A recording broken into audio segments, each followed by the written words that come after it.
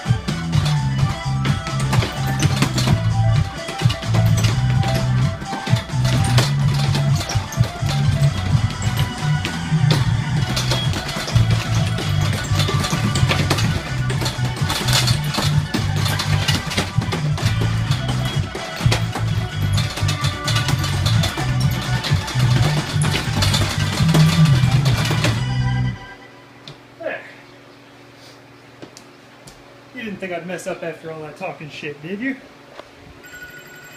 Easy.